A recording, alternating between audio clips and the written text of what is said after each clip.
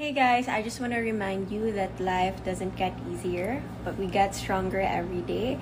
So lalaban tayo at kakayanin natin ang mga pagsubok sa buhay.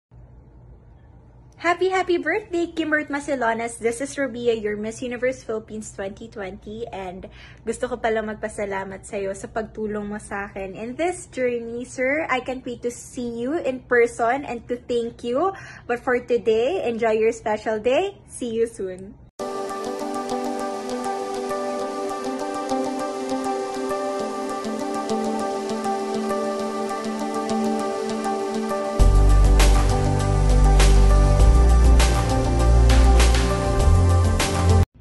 Guys! Ilang tulog na lang, Miss Universe na, at nagpapasalamat ako sa lahat ng nagpapakita at nagpaparamdam ng kanilang pagmamahal at pagsuporta. At gusto ko sanang manawagan sa sambayanan na sana po iboto niyo ako sa competition namin for Miss Universe para ma-secure ko yung spot ko sa top 21. Malaking tulong po ito. At gustong gusto ko talagang manalo kasi gusto kong gawing regalo ito sa ating mga kababayan. Kaya maraming salamat po at mabuhay tayong lahat.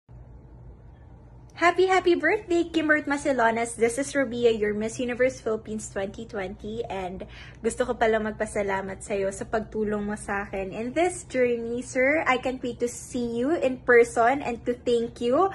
But for today, enjoy your special day. See you soon.